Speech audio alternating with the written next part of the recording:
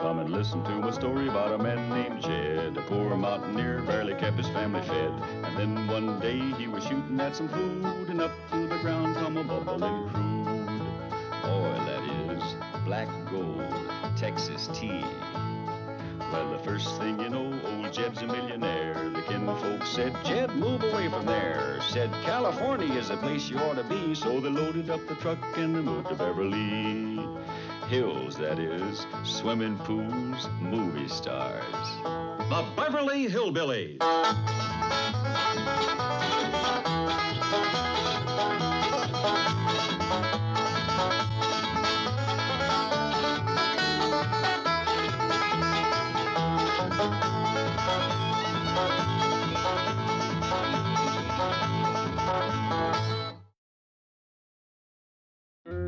Shoo!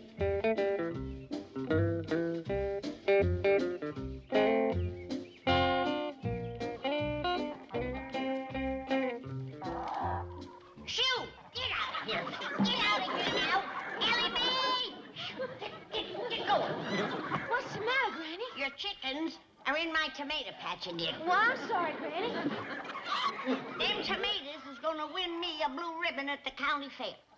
And if I catch your hens pecking at 'em again, they's gonna be swimming in hot gravy. They'll hear you. I'm giving 'em fair warning. Them that eats gets it. Take a look at this beauty, Elly. They can't grow tomatoes like that in California. Well, you're doing it. These are back home tomatoes, grown with back home seeds, with back home know-how. When the judges at the county fair take a look at these,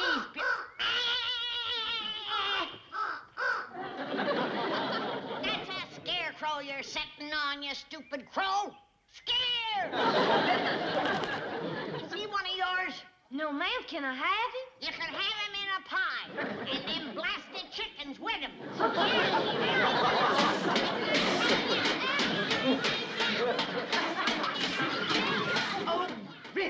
This is too much. Milburn? Milburn! How long must I endure those salted sharecroppers? What is it, dear? I'm late. Granny is... Aren't you going to the office? Yes.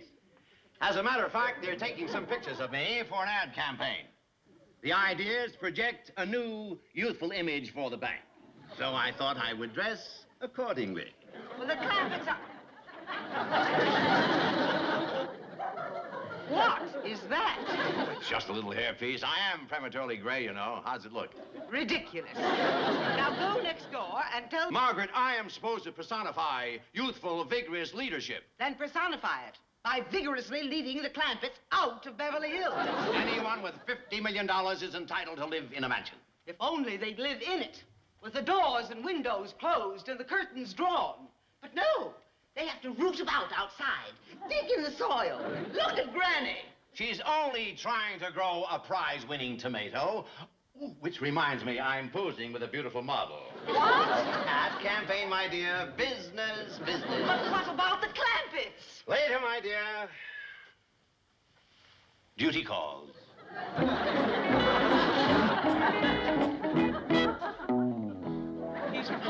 With an ostrich? Yep. He's going to be the symbol of our whole campaign. Take a look at that ad layout sketch.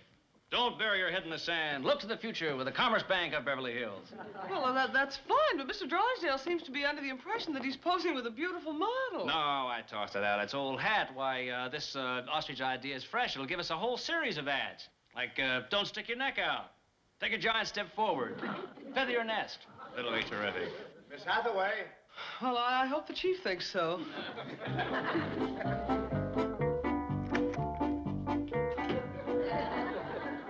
Chief! How's this? Projects that useful image, doesn't it? Well, it certainly does. Did uh, Nelson find a model? Well, yes, Well, but... how does she look? Beautiful figure. Fantastic legs.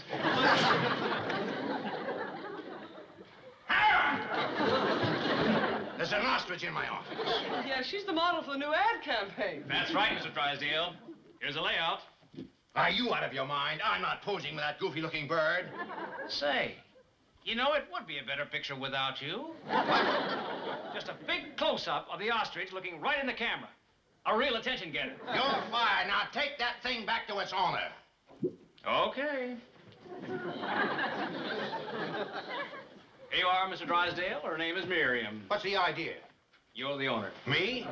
To make sure that she'd be available for the whole campaign, the bank had a buyer. Take good care of her. It cost you $2,000. Bye. I'll send my bill in the mail. What am I going to do with an ostrich? You can give her to the zoo. Give? I want my money out of this thing. Well, we can advertise it, but meanwhile, where are we going to keep her? Miss Hathaway, I've often heard you mention how lonely it is in your apartment. How would you like to have a roommate? Oh, sure. Well, think it over. I understand a pet bird can be a lot of company. Chief, I can't keep an ostrich in my tiny apartment. Move into a larger one. No, wait. All right. Have somebody take it up and put it in my garage temporarily. But get those ads going. Yes, sir. Sh- Shall I buy one large ad or a series Buy of... nothing. Every supermarket has a free bulletin board. I've got enough money tied up in that feathered freak. For sale, one ostrich, At cost, $2,500. 25? Our time is worth something. Twenty-five hundred dollars. Ah! Come back with my hair!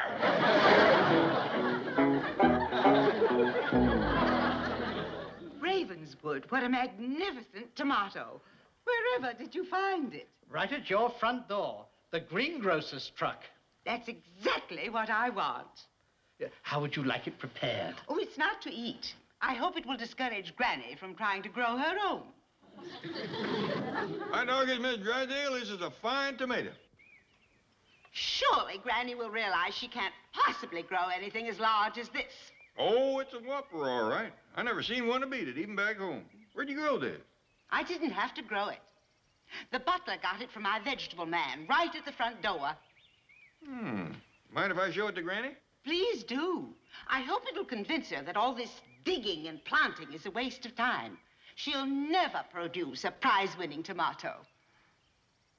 Miss Drysdale growed this. Well, she let it slip that her butler and vegetable man done the work. But they growed it out by her front door. And you can bet your boots she'll take credit for it at the county fair. Now, we ain't sure that she... I know that spiteful woman. She'd do anything to beat me. Why, she never cared shucks about growing nothing till she seen me do it. That's true. Well, we'll see who wins first prize. Where are you going? I'm gonna stir me up the doggonedest batch of tomato growing tonic you ever seen. Didn't know you had one. I don't. I'm gonna invent one.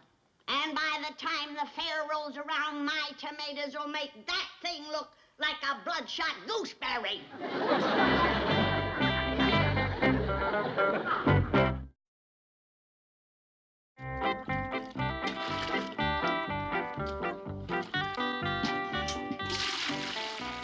Granny, that's about all them tomatoes can take right now. Your tonic is puddling up on the ground. Douse them again. Well, why not let it soak in overnight and give 'em some more in the morning? I'll make another batch in the morning. Them tomatoes are gotta be forced grown. Well, you can only push nature so far.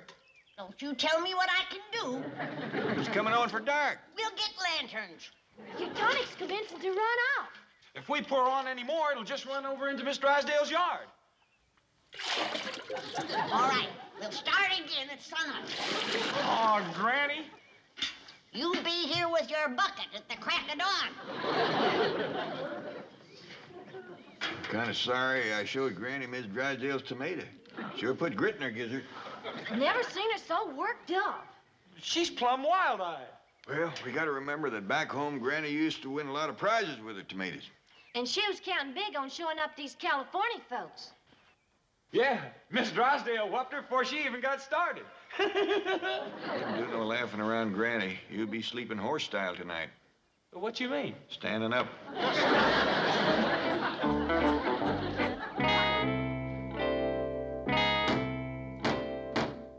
Milburn. Milburn. Wake up. Oh, oh, oh, what? Someone's trying to break into our garage. Garage?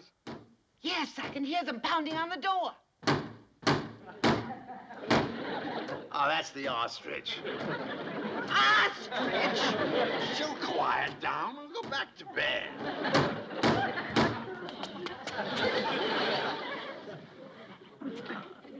See, I told you she'd quiet down. What's an ostrich doing in our garage? Waxing the car. Get back to bed.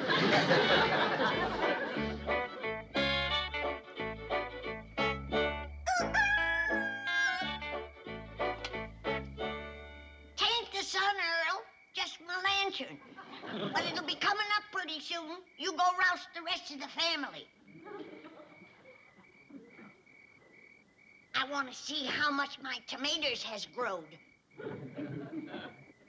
You was good size yesterday. You really ought to be a whopper type. Where'd you go? Chicken tracks. They ate my prized tomatoes. When I get my hands on you, you're gonna be chicken stew. Aha! I gotcha. You're gonna kick me.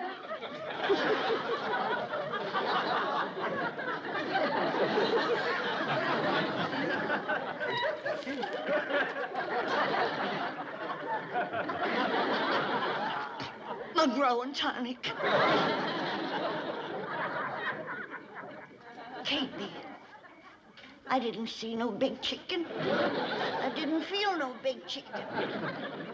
I just got up too early. Morning, Granny. Morning, Jed. My, that coffee smells good. Yeah. Well, there's another pot on the stove. I finished this one. That's a heap of coffee. Well, I want to make sure I'm good awake when I go out to look at my tomatoes. You're gonna be awake for the next three days. well, come on. Let's go look at the tomatoes. No, wait now, Jed. You just sit there and have your coffee. I want to see 'em alone first. How come? Well, they's my tomatoes, and they was doused with my growing tonic, and, well, uh, never mind. Now, you, you just stay there.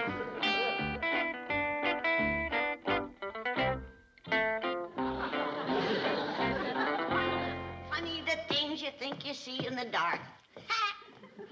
Seven foot chicken, drumsticks like that. Everything looks different in the daylight. sure did seem real last night, though. Here I was walking along, and all of a sudden there was that seven foot chicken. Oh no. I turned a sweet little hen into a monster. You can only push nature so far. Well, it ain't my fault. Why didn't you stay out of my tomato patch? That tonic has growed you all out of shape. It's not that you ain't good looking. It's just that you're kind of different. Your middle hasn't caught up with your neck or your drumsticks. I don't want to be around when it does. But now, don't you worry. I'm going to invent something to shrink you back to size. But until I do, I got to find some place to hide you. Now, you stay right here. I can put you in Drysdale's garage till they get up. Then I'll. Where'd you go?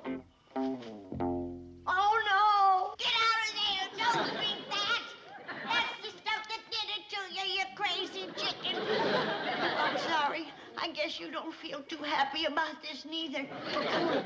I got a place to hide you for a spell.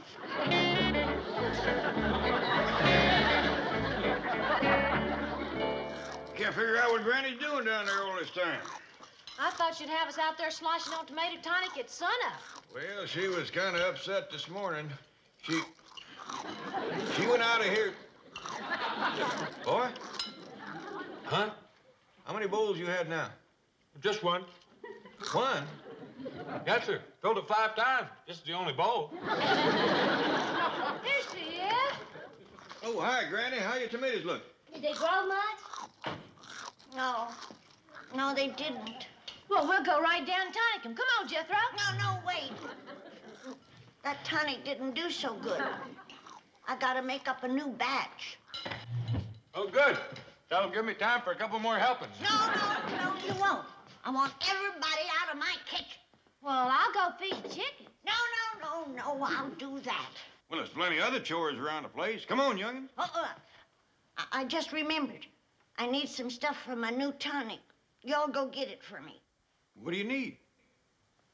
Pasadena berries. Pasadena berries? I never heard of them. What do they look like? You'll find out when you get to Pasadena.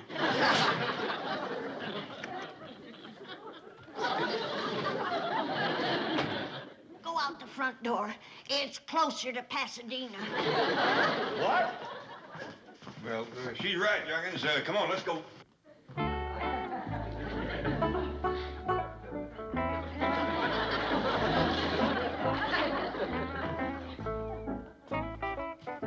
Now look, High Pockets. I'm gonna do everything I can, but you gotta stay where I put you. If there's one thing I can't abide, it's a pushy chicken. now wait right there.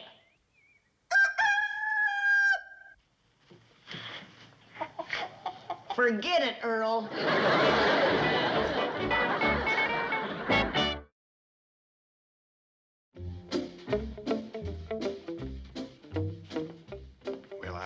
You youngins were smart enough to see right through Granny's business about the Pasadena berries. Sure, Pa. Heck yeah. Good. Want to take along some baskets for the berries or pick 'em up in Pasadena? Jethro, there ain't no such thing. Well, yes, there is. That's where they hold a rose parade. Pa's talking about berries. Oh. Now, we all know that there's something mighty powerful vexing Granny, or she wouldn't have gone to such trouble to get shed of us. Now, the way I got it figured, Uncle Jed, can't we talk about this on the way to Pasadena? boy, we ain't going to Pasadena. And how else are we gonna get Pasadena berries? Jethro, Granny just said that to get us out of the house so we wouldn't find out what's got her jumpy as a grasshopper in a chicken pen. now, the way I got it figured, it's got something to do with the tomatoes. So let's get around back and take a look. Uh, before we go to Pasadena? Yeah. Oh, oh, want me to get some berry baskets? No. Uh, well, where, where, are we gonna put them? How about your hat? Oh, I ain't wearing no hat. Well, get one, because a brain like yours ought to be protected. Thanks, Uncle Jed. Beg pardon, sir. Miss Hathaway to see you. Good morning, Chief. Morning. Sit down and have some coffee. I'll get some fresh. I wanted to bring you the good news. We have two possible buyers for the ostrich. Wonderful. Where is it? In the garage? No, I just looked there. The side door's open and the ostrich is gone. Gone. I'm afraid so. Stolen. So that's what I heard last night. Somebody broke in and took my $2,000 bird. Call the police. Well, now, Chief, maybe it got out and wandered off. Don't you think we should look for it first? Is it insured? I'm afraid not. Well, then we'll look for it. Now, you cover the Benson estate. I'll take the Clampetts. And Ravenswood, you search our grounds. Uh, very good, sir. Uh, beg pardon, sir, but what are we hunting for? Ostrich! Would we have better luck in Africa, sir?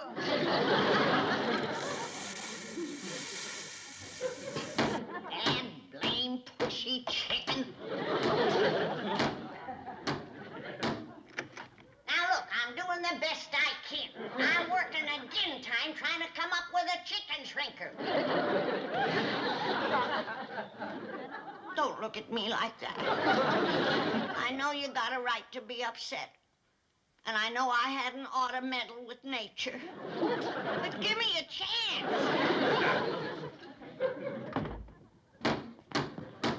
Big overgrown pullet. Now look, you ain't helping any by standing there kicking on that. All right.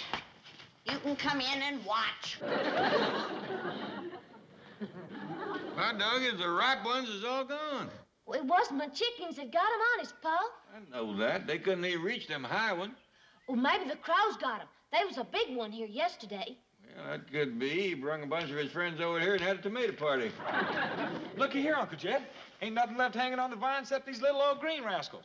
Jethro, you hadn't ought to picked him. Well, how else was I going to fetch 'em to you? Unless I ripped up the vines. What's the matter with you this morning? Nothing, except I'm awful hungry. Hungry? You had five bowls of flake. That's just it. I never got to finish breakfast. How we know what's got Granny all upset? Yeah, she ain't gonna win no prize with these. Hey, youngins, we gotta go down to the store and get Granny the best tomatoes we can find. Well, she ain't likely to win no prize with store-bought tomatoes neither. No, but we can make her think she could have won, and sometimes that's just as good. Hey, Uncle Jed, are we going to go to the store before we go to Pasadena and pick berries? Jethro, try to get this through your head. We ain't going to Pasadena to pick berries. Now, come on, let's go to the store. Oh, I see. We're going to buy 'em ready picked.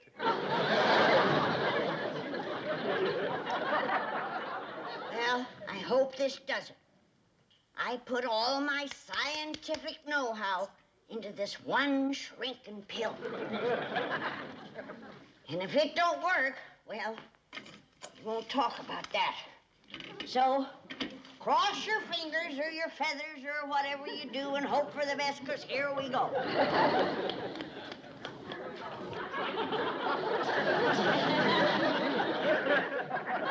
You need some water to help you swallow it? Mr. Clampett! Fanny! Anyone home? Come on, come on, get it done. You gotta shrink back to chicken size before anybody sees you. Hello? Where is everybody? We'll never make it. Come on, I gotta hide you. Move, you big cluck.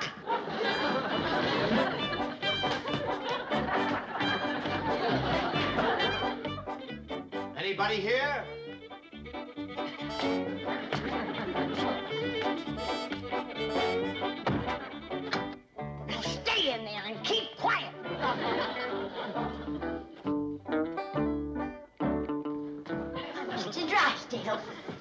To see you. You must come again sometime. Bye. Uh, Granny, I want to talk to you. Are you alone? Just me and the chicken. Uh, just us chickens. Well, I, I want to know if you've seen my ostrich. You what? Ostrich. It cost me $2,000. Oh, it must be a dandy. You can take me for a ride tomorrow. Keep quiet now! Granny, I, I guess you don't know what an ostrich is. No, and I don't care now. I'm busy. What was that? Somebody at the side door. Oh, well, I just wanted to see if you've seen a great big bird about so high, with a long neck, black feathers, and long legs. Have you? Why, yes, it was in my garage. You seen it? Yes. You're having visions. I gotta answer the door.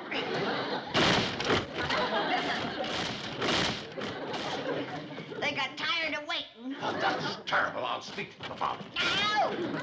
I'll tend to it. Now you get out or I won't have no house left.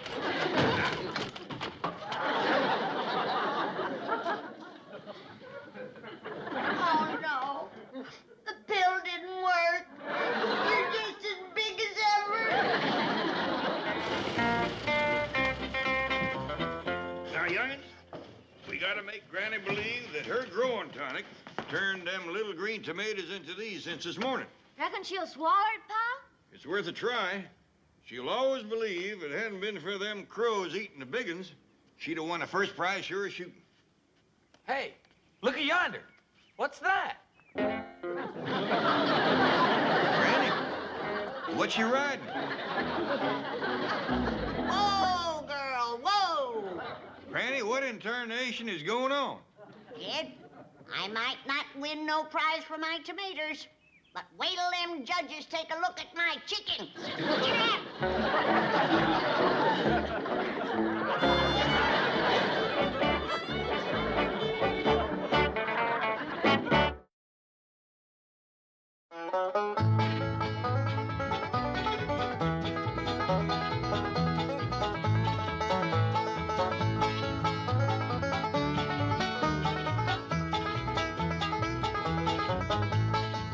it's time to say goodbye to Jed and all his kin. They would like to thank you folks for kindly dropping in.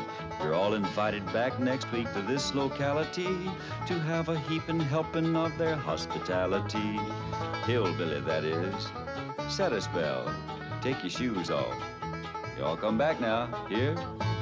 This has been a Filmways presentation.